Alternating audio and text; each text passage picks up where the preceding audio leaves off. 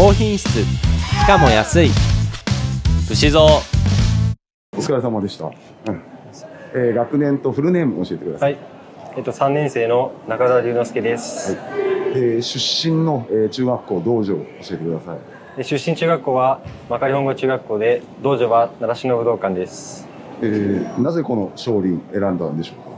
えっと、自分の父と姉が徹先生に教わっていて、自分も教わりたいと思ったから来ました。えーまあこの学校で学んでみて、えー得たこと、えー学んだことなんかありますか？試合では相手より先に攻めて戦の戦線の線で打つことを学びました。あと技術面ではなく礼儀礼儀の方もしっかり教わることができました。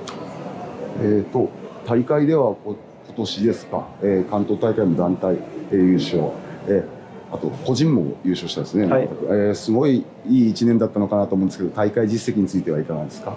えっと関東大会は結果は良くて良かったんですけどインターハイで自分が負けてしまって、まあ、とても最後は悔しい形になってしまいましたもう残り、えー少なくて、えーと今度この後今後の予定ですね。あの高校卒業はどうどういうふうに。えっと、大学が決まったらもう毎日稽古に来て自分を意識を高めて大学に向けて練習したいです、これからの剣道の目標を教えてください。えっと、全日本学生関東学生で優勝することですはい、わかりました。ありがとうございました。はい。またさ